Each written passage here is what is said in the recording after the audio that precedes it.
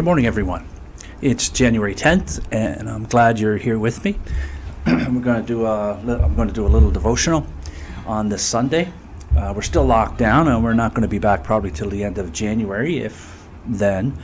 I'm not sure what the uh, expectations or the rules or what the government of Ontario will uh, tell us we have to do. But for right now, we're all locked down and uh, trying to do our best to stay safe. And I hope you are staying safe, staying isolated from people, and doing your best to uh, not get uh, COVID 19. If you look behind me, you'll see this uh, picture frame.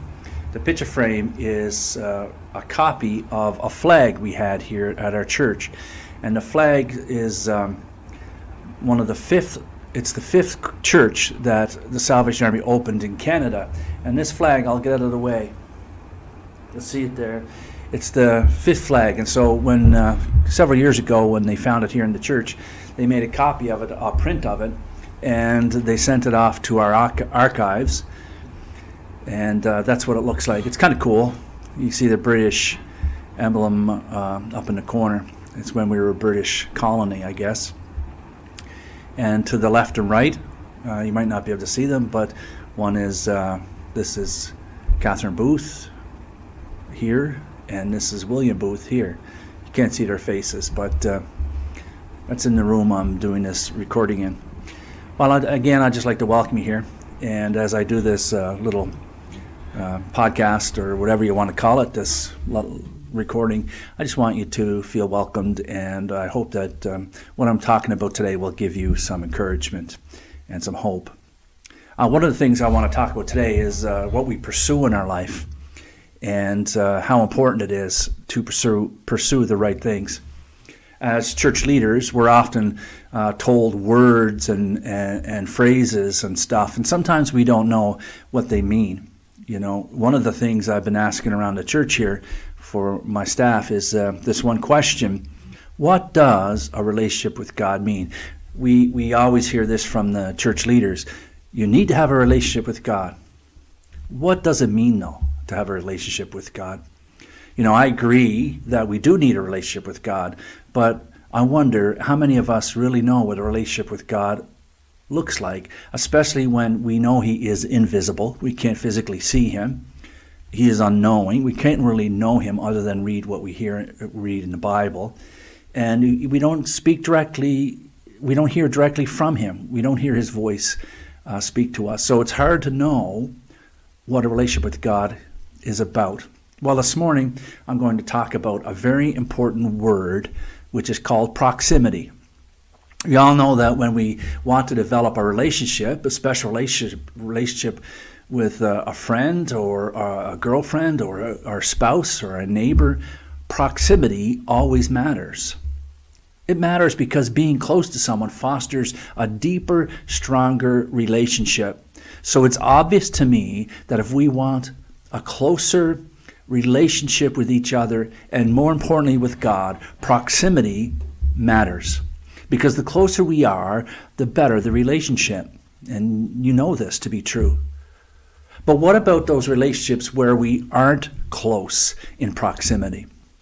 You know, my family, most of my family lives in Nova Scotia or out west, and so I don't have the proximity with them, but I still want to be around them. I still care about them. So, what happens when we want to have a, a relationship with somebody who isn't close, who is not around our area? We've all heard the phrase that absence makes the heart grow fonder, and to some extent, I think that's true. After all, I know when I'm apart from my spouse, whether it's a short time or a long time, my heart seems to ache a little more. And I find the longer we're apart, the more I grow to appreciate our relationship, and I can't wait until she returns home. And I suspect many of you are the same way. Soldiers can also uh, speak about this because when they're when they're called up to do active duty, the distance and absence from their home and family can cause their hearts to ache for their families and their home. Sometimes absence will strengthen a relationship with their loved ones. And that's not always true. Sometimes absence or longer absence causes problems too. So there is some truth to the idea that distance can benefit a relationship, but I don't think that, dis- that distance benefits a relationship with God. Here's the thing when it comes to our relationship with God, with Him, distance, our absence, does not strengthen the bond. Distance from Him has the opposite effect and can cause our heart to go cold. Distance does not make our hearts grow fonder for God. In fact, distance will always make God less important in our lives. Then, when He becomes less important, we stop going to Him. I guess the question I want to ask you is this what causes this distance from God in the first place? Well, I think there are many reasons, and I'm sure you could come up with many. But maybe you're a single parent who, by necessity, must pour all your attention and care into your children. And there's, a, there's not a lot of time left for God at the end of the day. Maybe you have a new relationship that you're pursuing, and all your time and energy gets invested in that person, which leaves very little left over for God. Or maybe that new relationship is pulling you away from God because it's leading you to do things that you know is wrong. Maybe you're taking care of a parent or a sick spouse and you have very little time for yourself, let alone time for God. Maybe you're working so hard day in and day out to support your family that by the time you come home, you are exhausted. And all you want to do is lay down and rest and have a bite to eat. You're just worn out. You're just too worn out to pray to read His Word, or even think about Him. You see, we might not be intentionally trying to create distance between us and God. It's just that with the frenzy and frenzy and situations of everyday life, it can happen. Another area that can cause distance is sin.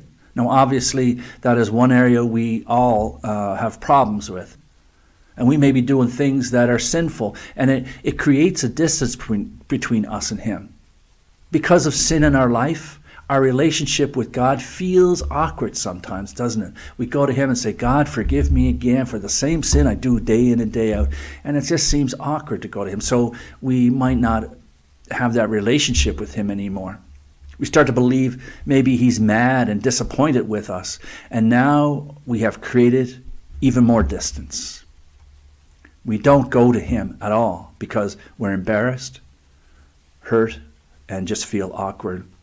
So, how do we correct this distance? How do we fight the gap that can grow within our relationship with Him? How do we stop the feeling of failure and distance? The good news is that the Apostle Paul wrote something about this very problem. He reminds us of what God's heart is like, what His character is like when we find ourselves distant from Him. In Romans 2, Paul was teaching the Roman church about God's character. In the first part of his letter, Paul focused on how all people are sinners and sin can put distance between us and God. But Paul says no matter the cause of the distance, God's heart is always the same. He wrote this Don't you see how wonderfully kind, tolerant, and patient God is with you? Don't you see how wonderfully kind, tolerant, and patient God is with you? How many of us really think that God is kind, tolerant, and patient with us? Sure, when we're doing good things, we might think He is kind and tolerant and patient, but what does He think of us when we make poor choices in our life?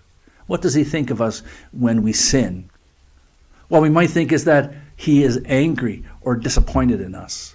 But Paul says that's not true we need to understand what we need to understand is that during our sin, God is always kind, tolerant, and patient. You see, it's the opposite of what we think He's feeling toward us, especially when we're distanced from Him.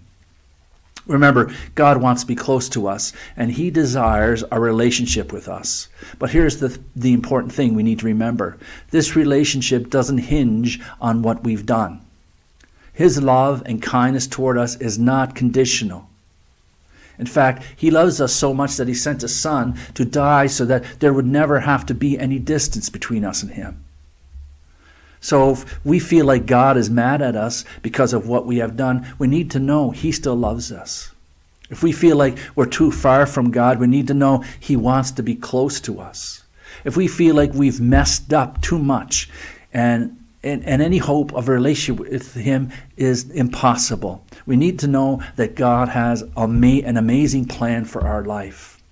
So if we feel like God's mad at us because of what we have done, we need to know He still loves us. If we feel like we're too far from God, we need to know He wants to be close to us. If we feel like we've messed up too much and we don't have any hope for relationship with, with Him, we need to know that God has an amazing plan for our life.